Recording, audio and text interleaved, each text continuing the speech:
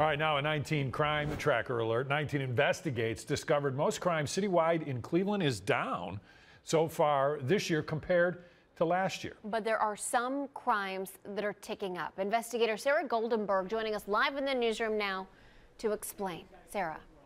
A big change we're seeing so far this year is the drop in homicides in the city compared to last year at this time. They're down 40%. And so far, police aren't seeing as many stolen cars. According to the latest city crime stats just released today, grand theft of motor vehicles in Cleveland is down about 34%. And when it comes to homicides, last year there were 32 by this time. That number is down to 19 this year.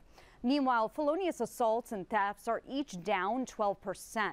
There are two categories where police are seeing a slight increase in crime. Breaking and entering is up nearly 7%, and rapes are up nearly 5% citywide.